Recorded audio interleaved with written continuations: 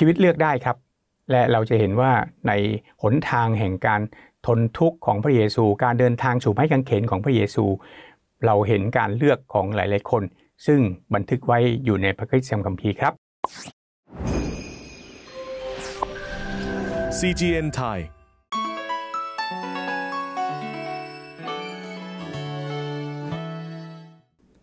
สวัสดีครับ พี่น้องที่รักในพระคริสต์ทุกท่าน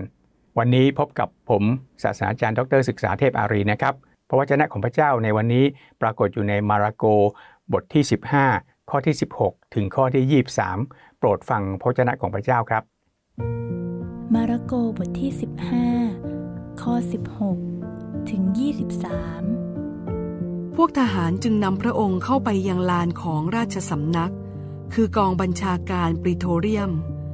แล้วเรียกพวกทหารทั้งกองมาประชุมกัน พวกเขาเอาเสื้อสีม่วงมาสวมให้พระองค์ เอาหนามสารเป็นมงกุฎมาสวมพระเศียรพระองค์ แล้วคำนับพระองค์กล่าวว่า ข้าแต่กษัตริย์ของพวกยิว ขอทรงพระเจริญ แล้วพวกเขาเอาไม้อ้อตีพระเศียรของพระองค์ ถมน้ำลายรถพระองค์ และคุกเข่าลงนมัสการพระองค์ เมื่อเยาะเย้ยพระองค์แล้ว พวกเขาก็ถอดเสื้อสีม่วงนั้นออก แล้วเอาเสื้อผ้าของพระองค์มาสวมให้ และนำพระองค์ออกไปเพื่อตรึงที่กางเขน มีคนหนึ่งชื่อ ซีโมน ชาวไซรีน เป็นบิดาของอเล็กซานเดอร์และรูฟัส เดินทางจากบ้านนอกมาตามเส้นทางนั้น พวกเขาจึงเกณฑ์ซีโมนให้แบกกางเขนของพระองค์ พวกเขาพาพระองค์มาถึงที่แห่งหนึ่ง ชื่อกลโกธา แปลว่ากะโหลกศีรษะ แล้วพวกเขาเอาเหล้าอางุ่น ผสมกับมดยอบให้พระองค์เสวย แต่พระองค์ไม่ทรงรับ พี่น้องครับ ข้อที่ 16 ถึงข้อ 23 ของมาระโก ซึ่งเป็นพระกิติคุณข่าวประเสริฐของพระเยซูคริสต์ก็เริ่มต้นด้วยการเยาะเย้ยจากทหารคำเยาะเย้ยจากทหารพี่น้องลองคิดถึงภาพนะครับ ที่ทหารนั้นเยาะเย้ยพระเยซู สวมมงกุฎหนามบนพระเศียรของพระองค์ แล้วก็ ทำสิ่งต่างๆที่เป็นการดูหมิ่นดูถูกพระเยซู ชีวิตของเรานะครับหลายๆครั้งทีเดียว ผมก็หนุนอยากหนุนใจพี่น้องหลายหลายท่านนะครับว่า ถ้าเราเป็นนักรบของพระเยซูคริสต์ถ้าเราเป็นสาวกของพระเยซู สิ่งหนึ่งครับที่เราหลีกเลี่ยงไม่ได้ก็คือ ต้องดูที่บาดแผลว่าเรามีแผลเป็นมากน้อยแค่ไหนนะครับนะครับ แล้วก็บริเวณที่เราจะดูพี่น้องลองเดาดูสิครับว่าที่ไหน บริเวณในร่างกายของเราที่เราจะเห็นแผลเป็นของกันและกันที่ไหนครับ ผมก็มักจะพูดในทีเล่นทีจริงว่า ดูที่ข้างหลังครับนะเพราะว่าข้างหน้าเนี่ยเรามียุทธภัณฑ์ทั้งชุดของพระเจ้าใช่ไหมครับ เรามีโล่ เรามีหมวกนะครับ เรามีพี่ป้องกันทุกอย่างเลย แต่ข้างหลังปรากฏว่ายุทธภัณฑ์ของพระเจ้าเนี่ยไม่ไม่มีใช่ไหมครับ นั่นคือสิ่งที่เป็นข้อคิดว่า เรามักจะถูกแทงข้างหลังอยู่เสมอนะครับ แผลเป็นก็อยู่ข้างหลังหมดเลย พี่น้องครับ การเยาะเย้ยถากถาง การติฉินนินทา การว่าร้ายนะครับ ก็มักจะเกิดขึ้น ไม่ได้ต่อหน้าล้วครับ มักจะอยู่ข้างหลัง ฉะนั้นพี่น้องครับบทเรียนในวันนี้ก็คือว่า เราเองนั้นต้องเรียนแบบพระเยซูครับ พระเยซูนั้นถูกเยาะเย้ย ถูกแทงข้างหลัง คนที่พระเยซูไว้ใจสาวกของพระองค์นะครับ สองคนนะครับอย่างน้อยเลยก็คือทรยศพระเยซู คนหนึ่งขายพระเยซู คนหนึ่งปฏิเสธพระเยซู แล้วที่เหลือแล้วครับ ก็วิ่งหนีหายไปหมดนั่นคือสิ่งที่เกิดขึ้นเมื่อพระเยซูถูกจับ พี่น้องครับ การเดินทางอันเจ็บปวด Via Dolorosa คือหนทางสู่ไม้กางเขนนั้น พี่น้องมีชายคนหนึ่งครับ ชื่อว่าซีโมนชาวไซรีนซีโมนชาวไซรีนนะครับ พี่น้องลองคิดถึงภาพนะครับว่า น่าจะเป็นชายร่างกำยำล่ำสัน ก็คือเป็นชายร่างใหญ่ และนี่คือเป็นผู้ที่ทหารนั้นก็เกณฑ์เข้ามา คือผู้แค่บังคับเข้ามาให้มาแบกกางเขนให้กับพระเยซู เป็นการเลือกอย่างที่อะไรครับ อย่างที่ไม่มีใครคิดมาก่อนทหารก็เลือกนะครับ ในขณะที่ซีโมนชาวไซรีนั้นดูเหมือนว่าเขาไม่มีสิทธิ์เลือก แต่ พี่น้องรู้ไหมครับว่าพระเจ้าเลือกสรรเขาไว้แล้ว โดยที่หลายๆครั้งทีเดียวนะครับ เราอาจจะถูกเหตุการณ์ต่างๆนะครับ เหมือนกับซีโมนชาวไซรีนก็คือว่าเขานั้นรู้สึกว่าเขาไม่ได้เลือกแต่พระเจ้าเลือกเขาพี่นะครับหลายครั้งในชีวิตของเรานะครับ เรารู้สึกว่าเราอยากจะเลือกแล้วไม่ได้เลือก แต่จริงๆแล้วพระเจ้าเลือกเรา พระเจ้าวางเราไว้ในแผนการของพระเจ้า นี่คือซีโมนชาวไซริน และพระเจ้าก็เตรียมร่างกายของเขานะครับ ให้กำยำล่ำสัน เหมาะสมในการที่จะแบกไม้กางเขนของพระเยซูคริสต์นี่คือบทเรียนที่น่าสนใจมากนะครับ หลายครั้งทีเดียวเราอาจจะไม่ได้คิดว่าเราถูกเลือก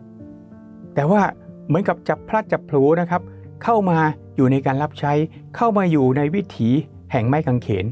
พี่น้องครับซีโมนชาวไซรีนนั้น เขาได้รับการบันทึกชื่ออยู่ในไหนครับ อยู่ในหนทางสู่ไม้กางเขน ชื่อของเขานั้นบันทึกอยู่ในพระคิดสัมคัมภีร์ครับ ฉะนั้นตรงนี้เองพี่น้องนั่นคือสิ่งที่พวกเราอยากจะเป็นไหมครับพี่น้องครับ หลายครั้งทีเดียวนะครับ เวลาเราพิจารณาชีวิตของเราเราหลายครั้งเราได้ครุ่นคิดถึงช่วงเวลาอันศักดิ์สิทธิ์ที่พระเยซูได้ทรงสิ้นพระชน พระคัมภีร์ทำให้เรารู้ว่าพระเจ้าไม่เคยลืมเลยครับ ไม่เคยลืมคนที่พระเจ้าเลือกสรรไว้ ฉะนั้นเราเองครับ อย่าไปคิดว่าพระเจ้าลืมเรานะครับ อย่าไปคิดว่าพระเจ้าเนี่ยเมินพระพักของพระองค์จากเราไปแล้ว หลายครั้งทีเดียวเราอาจจะถูกมนุษย์บีบบังคับให้ทำนู่นทำนี่ พี่น้องครับ หากเราทำเพื่อพระเยซู มนุษย์จะบีบเรายังไงนะครับ ก็ไม่สำคัญ แต่ว่าให้เราเข้าใจว่านี่คือการแบกกางเขนเพื่อพระเยซูครับ นั่นคือภารกิจของซีโมนชาวไซรินพระเยซู ได้ผ่านการเยาะเย้ยถักถังพระเยซูรับความท้าทายในชีวิตในขณะเดียวกันซีโมนชาวไซรีนั้น ก็เป็นคนที่แบกกางเขนให้กับพระเยซู นั่นคือคนที่แบกกางเขนคนแรก แบกกางเขนของพระเยซูคนแรกพี่น้องครับ ถามว่าทำไมเขาถึงทำได้ เพราะว่าเขายอมเขายอม นั่นคือสิ่งที่พี่น้องครับ เป็นเรื่องที่สำคัญมาก ที่เราเองนั้นจะต้องยอมครับ หลายครั้งทีเราอาจจะไม่เข้าใจว่าพระเยซูหรือพระเจ้าจะมีแผนการอะไรในชีวิตของเรา แต่เมื่อเรายอม เรายอมที่จะเชื่อฟัง เรายอมที่จะให้ถูกคนกดขี่ข่มเหงเพื่อพระเยซูพี่น้องครับ นั่นคือภารกิจที่ยิ่งใหญ่ นั่นคือศักดิ์ศรีของซีโมน ชาวไซริน สุดท้ายนะครับผมอยากจะหนุนใจครับว่าพระเยซู ได้ปฏิเสธ เครื่องดื่ม เครื่องดื่มคืออะไรครับ คือองุ่นเปรี้ยวองุ่นเปรี้ยวนั้นมีฤทธิ์ในการที่จะทำให้คนจะเจ็บปวดน้อยลง แต่พระเยซูพระองค์ไม่รับประทานองุ่นเปรี้ยว ไม่เสวย ไม่ดื่ม พระเยซูปฏิเสธทางลัด ในการทนทุกข์ทรมาน พี่น้องครับคำมั่นสัญญาของพระองค์ที่จะยอมรับความเจ็บปวด ยอมรับความ ทุกทรมานบนไม่เข็นอย่างเต็มขนาดหรือเต็มที่นั่นแหละครับคือสิ่งที่พระเยซูเลือกเดินเส้นทางที่ยากกว่า เพื่อจุดประสงค์ที่ยิ่งใหญ่กว่าครับ ฉันใดฉันนั้นพี่น้องครับซีโมน ชาวไซรีนั้น เขาก็เลือกเส้นทางที่ยากนะครับ โดยการเชื่อฟัง และเขาได้ไปถึงจุดประสงค์ยิ่งใหญ่ที่พระเจ้าได้ให้เขาได้เลือกเขา เข้ามาแบกกางเกณฑ์ของพระเยซู ให้เราร่วมใจกันอธิษฐานนะครับ ข้าแต่พระบิดาเจ้าสรรเสริญและขอบพระคุณพระองค์ เมื่อข้าหลายไตรตรองถึงชีวิตของซีโมนชาวไซรีน และได้เห็นถึงชีวิตขององค์พระเยซูคริสต์ซึ่งเป็นแบบอย่างของข้าพงทั้งหลาย ในการแสวงหาความเข้มแข็ง เพื่อจะทนต่อความท้าทายความทุกข์ยากลำบาก ในการที่ข้าหลายจะเต็มใจที่จะแบ่งเบาภาระของกันและกัน ในการแบกกางเขนของพระเยซู และเข้าใจถึงความหนัก หรือแอกที่ข้ามหลายแบกอยู่นั้นอย่างลึกซึ้งมากยิ่งขึ้น และข้ามหลายขอบพระคุณพระองค์สำหรับการเสียสละของพระเยซูคริสต์ซึ่งเป็นแรงบันดาลใจขับเคลื่อนท่าทีชีวิตของข้าพงหลาย ให้มีจิตใจที่น้อมลงเชื่อฟัง ตอบสนองต่อการเลือกของพระองค์แม้ว่าหลายครั้งข้าพงหลายจะไม่เข้าใจก็ตาม จึงขอพระองค์ได้ทรงโปรดเมตตา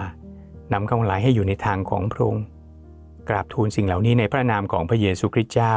อาเมน พี่น้องครับ ผมอยากจะเชิญชวนพี่น้องที่จะกดไลค์กดแชร์กด Follow ติดตามนะครับ ไม่ว่าจะเป็น YouTube ก็ดีนะครับ Facebook ก็ดี และพี่น้องยังสามารถที่จะร่วมสนับสนุนด้วยการอธิษฐานเผื่อ และด้วยการถวายทรัพย์นะครับ และแสดงความคิดเห็นนะครับ แบ่งปันพระพรมาทางคอมเมนต์ด้านล่างได้เลยนะครับ